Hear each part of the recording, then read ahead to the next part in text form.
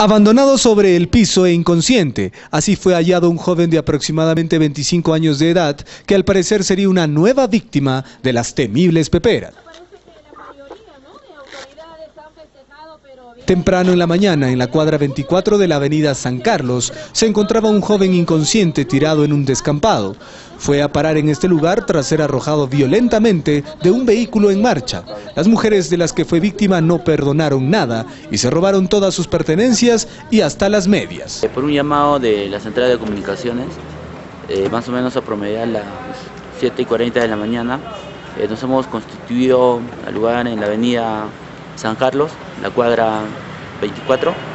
Eh, hemos encontrado un joven que estaba tirado en la vía pública, en, eh, en la pista, estaba botando espuma por la boca en la cual le hemos dado las atenciones del caso y le hemos derivado rápidamente al Hospital Carrión. Los vecinos dieron aviso a los serenos de Huancayo, que llegaron a la zona y encontraron al joven tirado sobre las piedras y vidrios del lugar. A pesar de los intentos, los agentes del serenazgo tampoco lograron despertarlo, por lo que decidieron trasladarlo al Hospital Daniel Alcides Carrión. Pese a los primeros auxilios, durante el camino al hospital, el hombre aún no despertaba.